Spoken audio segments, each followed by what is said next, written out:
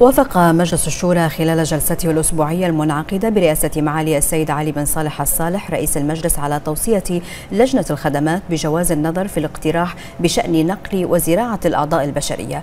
مزيد من التفاصيل في سياق التقرير التالي.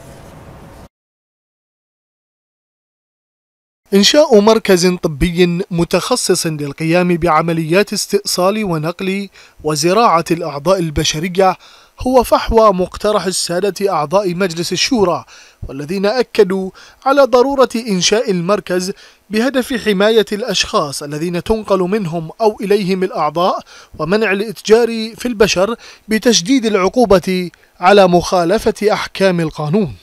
سيوفر إجراء العمليات من المتوفين دماغيا. حاليا لا يوجد عندنا آه، طاقم طبي لإجراء هذه العمليات من المتوفين دماغيا لأن المتوفي دماغيا غير موجود. وإحنا بلد صغيرة. ولكن عندما ننظر إلى المتوفين دماغيا في في مملكة تتجاوز آه، مواطنيها ال 30 مليون فستغطي جميع دول مجلس التعاون. وهذا الذي كنا نعمل عليه خلال ربع قرن.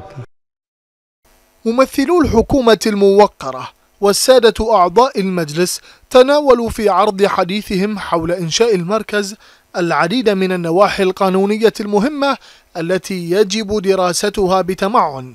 ولم تغفل الجلسة كذلك عن الجانب الشرعي لعملية نقل وزراعة الأعضاء البشرية.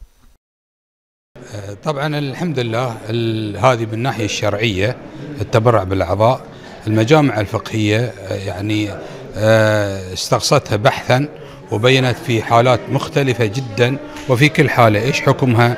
آه، وهذا الحمد لله مفصل ورأي الشرع واضح. داعم في الأصل داعم لهذه العملية لأنه ومن أحيا نفسا فكأنما أحيا الناس جميعا. وعندنا في البحرين الحمد لله القانون موجود ومدروس وأيضا الرأي قد راعى رأي الشرع في ذلك. فأعتقد هذا اليوم المقترح سيكون دعم لهذا الأمر في البحرين بإذن الله.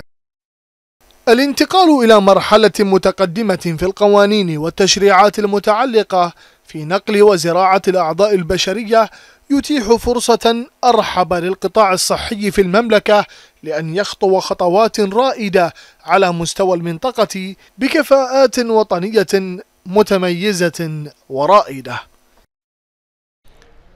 حيوية النقاش في جلسة الشورى لهذا الأسبوع أثراها تنوع الآراء وتبادلها بين أعضاء الشورى حول تعديلات مهمة تفضي إلى إنشاء مركز يعنى بزراعة الأعضاء البشرية في خطوة جديدة تتطلب دراسة مستفيضة من قبل الحكومة الموقرة وأعضاء السلطة التشريعية بغرفتيها.